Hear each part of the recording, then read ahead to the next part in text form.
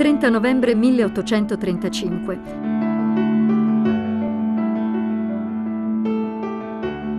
Nasce lo scrittore statunitense Samuel Langhorne Clemens, per tutti Mark Twain.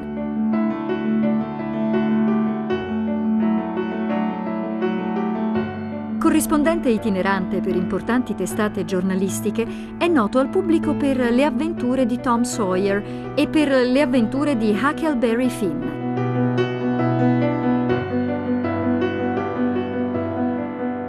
Muore negli Stati Uniti nel 1910.